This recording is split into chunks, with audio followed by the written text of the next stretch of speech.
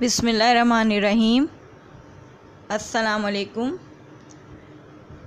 प्यारे बच्चों, मैं आपकी क्लास टीचर सैदा आयशा कोकर हूँ। आज मैं आपको उर्दू का सबक नंबर आठ, पीपल के नन्हे दोस्त, पढ़ाऊँगी।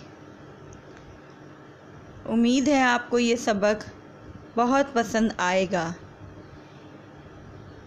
इसमें पीपल के दरख्त की कहानी और उसके दूसरे दरख्त, उसके साथी दरख्त जो थे जंगल में, उनके मुतालिक है।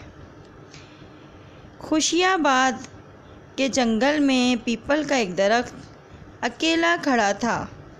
वो अपने दोस्तों को याद कर रहा था, जो कि कुछ माह पहले सब उसके साथ थे। वो सब दोस्त बहुत खुश थे। उन दरख्तों में परिंदे भी रहते थे और फल भी लगते थे। लोग वो फल मज़े से खाते थे और उसके साय में आराम भी करते थे।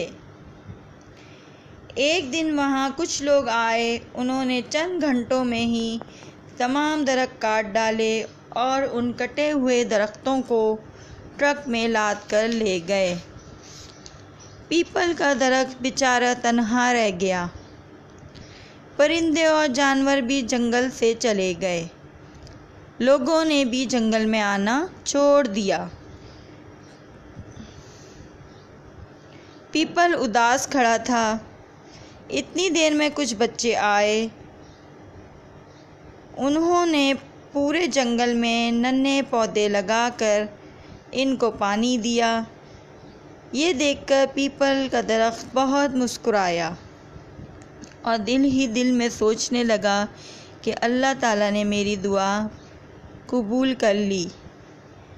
इन प्यारे बच्चों की मेहनत से, खुशियाबाद का जंगल फिर से खुश और आबाद होने वाला था।